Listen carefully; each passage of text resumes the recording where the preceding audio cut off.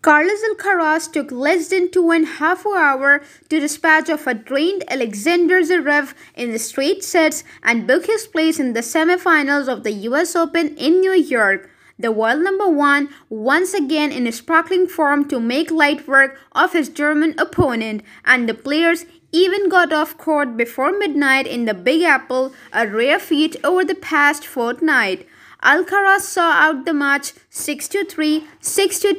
6-3, 6-2, 6-4 and will play number 3 seed Daniil Medvedev for a spot in Sunday's final, a clash between the last two Flushing Meadows champions. There were questions about how prepared Zverev would be faced the energetic Alcaraz after playing the longest match of the tournament, a near 5-hour, 5-set marathon in punishing conditions on Monday against Jannik Sinner.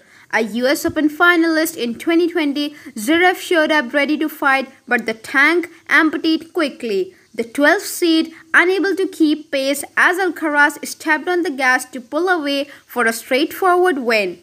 Alcaraz had only four break point chances throughout the entire contest but made each of them count. Thank you for watching this video and stay tuned to our channel for the results of upcoming big matches.